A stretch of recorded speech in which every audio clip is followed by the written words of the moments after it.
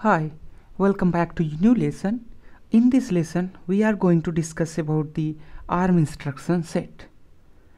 They are mainly these instruction set are categorized into many types such as data processing instruction, branch type of instructions, load store instruction, software instruction, logical instructions, program status instructions and so on.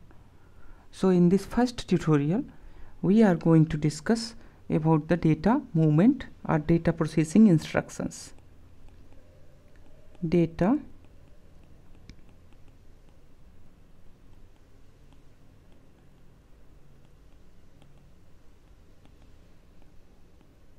data processing instructions and uh, in this data processing instructions we have the first instruction which we are going to discuss that is a move instruction set. Okay? And one more important thing is to notice here is that we will be also using a suffix and the suffix is s. Okay? So this suffix we will use when we want to update status registers. That's mean.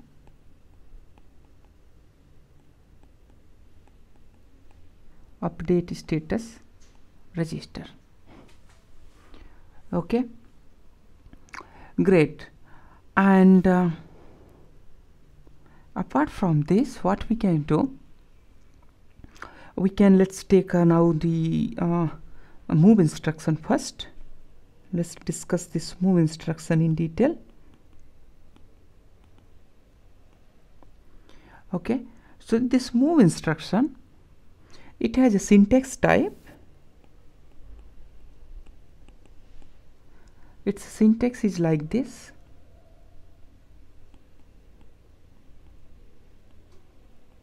There will be instruction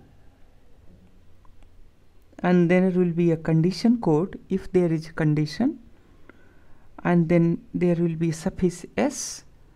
And then finally there will be the destination register. And then finally a number n. So what we can see what we can say about this?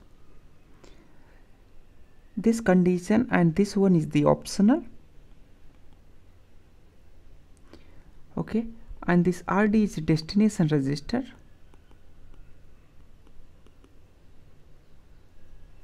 and this n is a 32 bit value. 32 bit int value right? Now if we need to write this instruction then how we can write this? We can write like this. Let's say we have a two register r5 which is loaded with 5 and we have another register R7 which is loaded with 8 and now we are going to write this instruction move R7 and R5 this means it will put this R5 value into R7 one thing I have intentionally written here is that I have written this into capital and here it is small letter. In while coding into the ARM actually it does not matter but for the simplicity and to maintain the continuity what you can do uh, either you can write it into the capital or into a small letter. So here I am going to write it into a small letter right R7 and R5.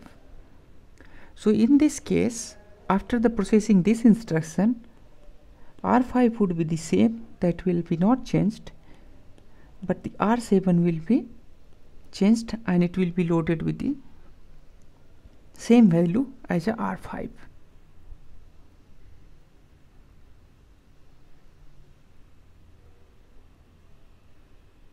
right.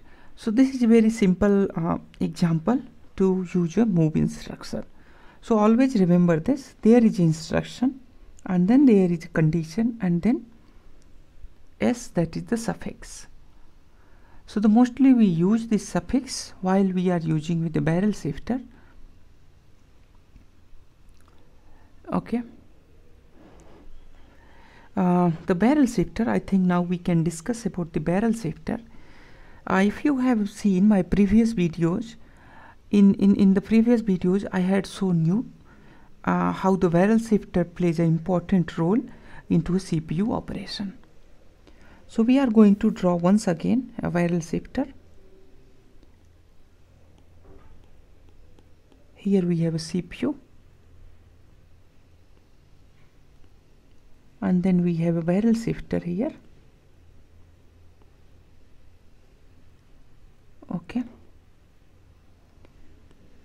And then here is a result RM sorry the source register that's the RM there is another register that is RN okay.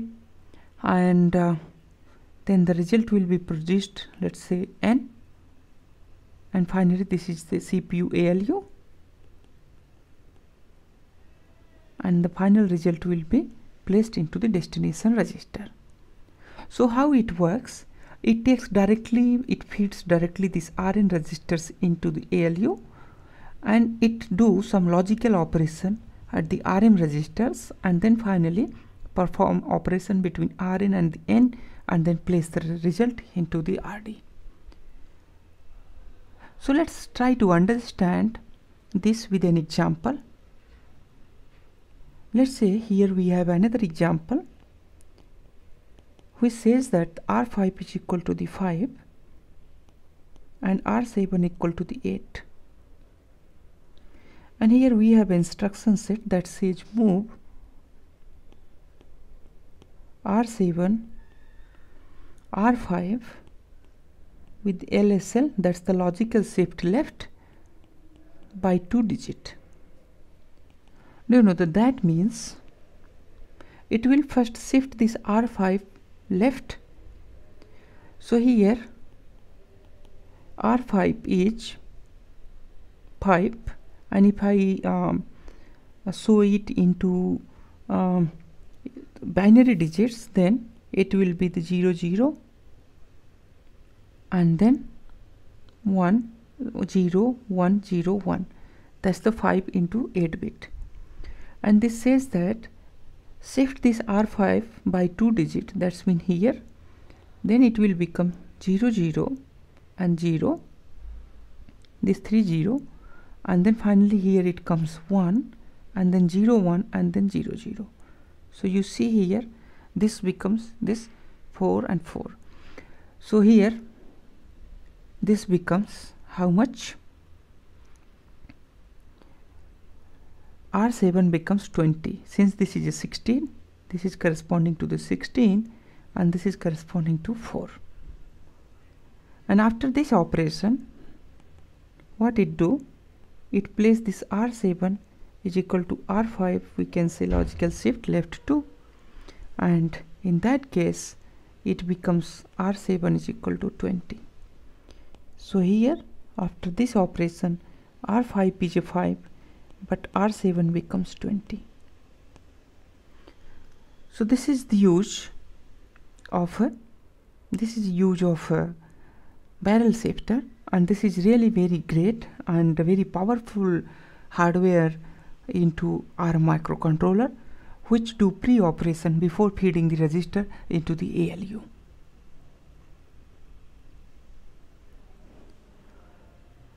So now let's take what are the instructions which we can perform, what are the pre-process which we can perform with the barrel shifter.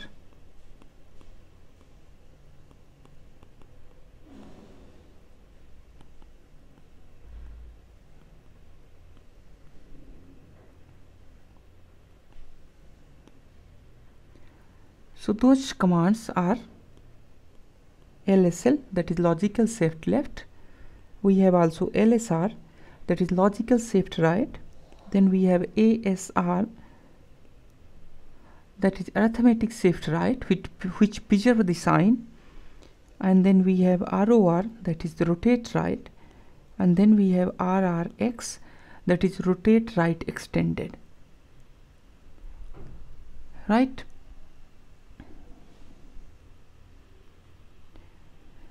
great. So one two three four five. So in the same way what we can write here this instruction this instruction we can write like this also. Move r7 r5 lsr has to or we can write it as ASR has 3 or we can write let's say the ROR has 5 so this value would be anything in between 0 to 31 actually okay? So this value between 0 to 31 okay? And then similarly we can write here as RRX has 26 okay. So these are the instructions command available to pre-process via barrel shifter into our microcontrollers.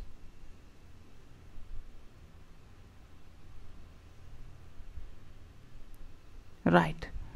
And uh, apart from this what we can do let's discuss another um, another uh, another instruction which uh, we had uh, discussed earlier to uh, by adding this s suffix. Okay? So by adding this s suffix into a move instruction okay? So let's add s suffix into our new instruction set that we are going to do let's say move s then r0 r1 and then lsl has 1 so as earlier I told you if we apply this S here this S represents that update status register. Okay? So with this operation whatever will be the result according to that status register will be updated. For the sake of the simplicity let's assume that CPSR is equal to for the sake of simplicity let's assume that CPSR is equal to NZ CVQ IFT into user mode right? And let's say R0 is equal to 0x00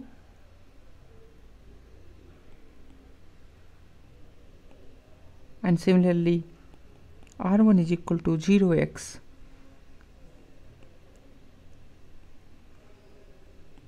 four. And if we perform this operation move r1 into r0 then what r0 becomes? With logical shift left. Okay so with the logical shift left R0 becomes 0x 0 0 0 0 and 8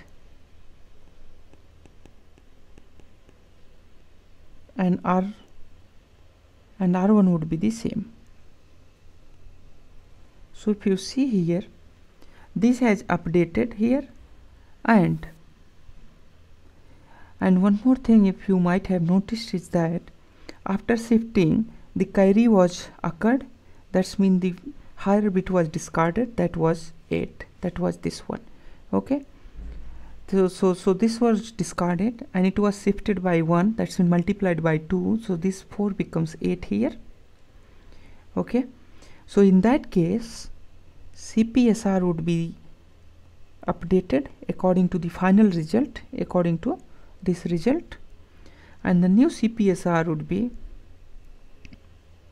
NZ now C would be the capital VQ I F and T user mode.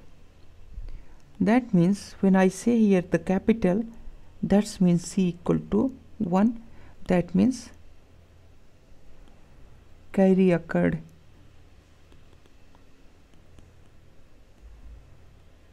in previous operation. Now you can ask what is the use to update this flag status register. So now once you updated this status flag register, now we can apply a conditional statement. Now we can apply or write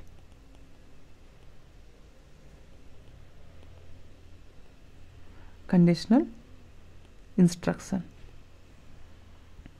If we write a conditional instruction such as add if carry occur, so now the question is what are the conditional statements or conditional instructions?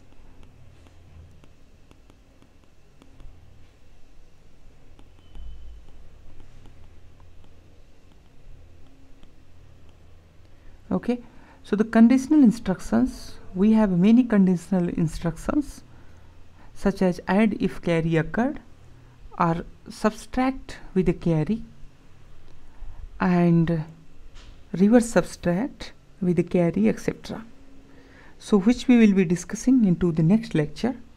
Thank you so much for watching this video. Please do not forget to subscribe this channel so that you can get updates directly into your inbox. Bye bye have a nice day